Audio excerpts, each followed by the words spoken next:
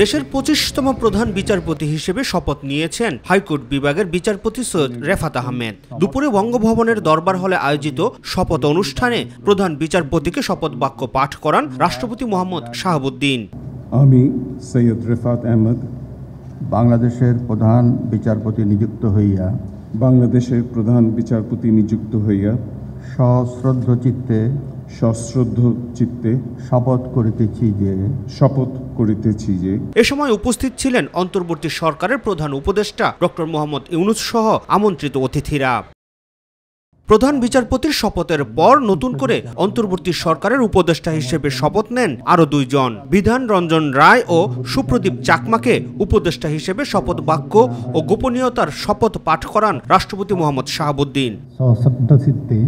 শপথ করিতেছি যে শপথ করিতেছি যে।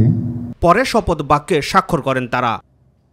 শপথ অনুষ্ঠান শেষে বৈষম্য বিরোধী ছাত্র আন্দোলনের সমন্বয়করা জানান বিচার বিভাগের প্রতি সাধারণ মানুষের যে অনাস্থা তৈরি হয়েছে তা খুব শীঘ্রই ফিরে আসবে।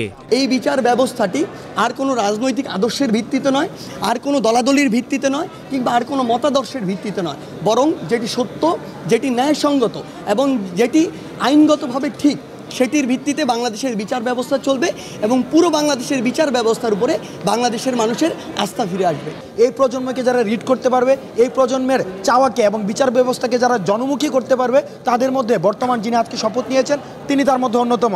এদিকে বিকেলে অন্তর্বর্তী সরকারের উপদেষ্টা হিসেবে শপথ নেয়া দুই উপদেষ্টার দপ্তর বন্টন করে প্রজ্ঞাপন জারি করা হয়েছে। বিধান রঞ্জন রায়কে প্রাথমিক ও গণশিক্ষা এবং সুপ্রদীপ চাকমাকে পার্বত্য চট্টগ্রাম বিষয়ক মন্ত্রণালয়ের উপদেষ্টার দায়িত্ব দেয়া হয়েছে। Rakib Hasan My TV Dhaka.